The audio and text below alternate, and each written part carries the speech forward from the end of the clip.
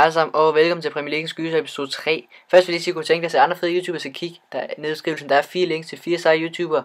FIFA Spekt, Jeppe Højfeldt, Kraus FIFA og FIFA Mads. Tjek dem ud. Men ja, vi kan se, at Chelsea er det eneste, som har vundet. Og Arsenal med en udgjort. Men det var så også på hjemmebane, og Liverpool og Manchester City har tabt. Men skal vi ikke se, om øh, City kan få gjort noget ved det? Og de har jo en ud, svær udbanekamp, men øh, jeg tror godt, de kan, de kan gøre noget ved det og se, om Chelsea kan holde på hjemmebane. Det bliver spændende, så følg endelig med.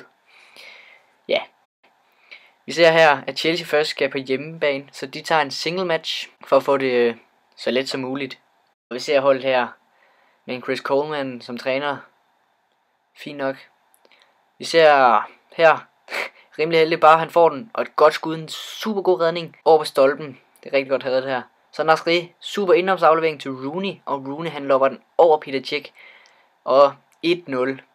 Dårlig start på hjemmebane, og det, jamen vi kan se, det er rigtig godt løbet, Og en super aflevering af Nasri, så det var et godt mål. Se her et måske lidt sløvt skud fra Torres.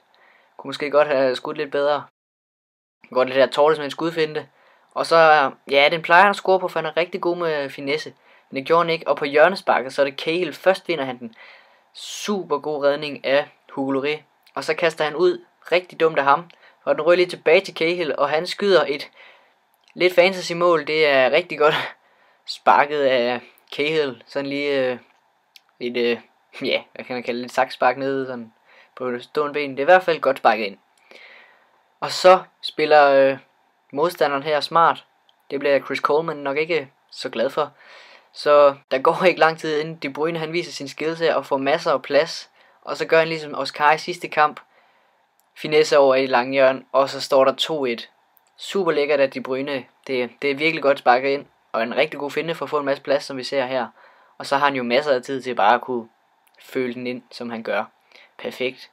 Så går vi til anden halvleg, og Oscar der ikke rigtig, en, han, de buser lidt på ham, så han har masser af plads, og de bryner med et rigtig dårligt skud, kan man godt kalde det. Men øh, rammer stolt med John, John Obi Mikel. Skovler den ind. Ikke så tit han scorer, men ja, der var mål. Lidt efter, så er det Torres, som får den. Skyder. Super godt. Lige en berøring og skyder. Det er fantastisk. Også afleveringen er rigtig god for Bar. Så jeg råber den og spiller den med det samme. Super godt mål. Der, der går kun 4 minutter ekstra. Så er det De Bruyne, der får en, en ja, en friløb, kan man vel godt kalde det. Men han brænder, han er egoistisk og brænder. Og så er det Torte, som man måske her kører mod baglinjen og får den lagt ind over. Den var bare god redning af huleri, men så får han scoret til sidst.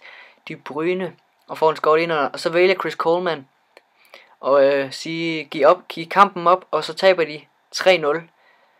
Han havde nok ikke forventet, at de ville kunne komme tilbage, så rigtig godt der. Så er det Manchester City, som skal spille sin kamp, og de kommer op mod det her hold.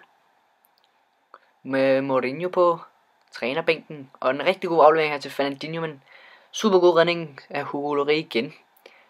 Så kommer vi lige her til det James Milner, som øh, stopper op og prøver at trække ind af, men der blev tre forsvar til at blokere den, så desværre.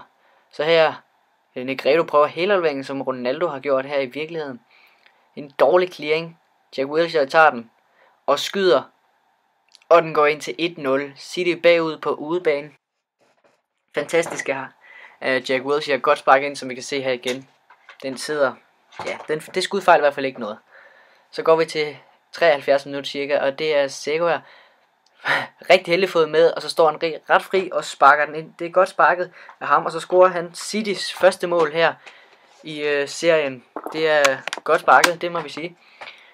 Men øh, der var, det var rimelig heldigt, men øh, det spiller vi jo med, at man godt må være heldig, så det var godt nok. Og så et indlæg her i 90 minutter.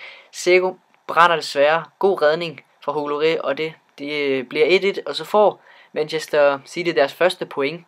Det var rigtig godt, at de øh, fik scoret her. Super lækkert. De kunne komme øh, på pointtavlen. Så ser vi her Manchester City. Et point. Ligger desværre stadigvæk bag Arsenal og Chelsea. Kører der ud af bandens første udbane, og så vinder de også hjemmebane her, så det ser godt ud for dem. Men øh, Arsenal og Liverpool skal spille næste, så håber vi, vi ser med der. Ja, tak fordi I så med, og jeg håber, I vil købe coins ind på Rainy Run. Super god service der. Og I kan tjekke de andre YouTubere nede i beskrivelsen, og I kan tjekke min Facebook-side, som der er også et link. Og ja, vi ses i næste video. Hej hej.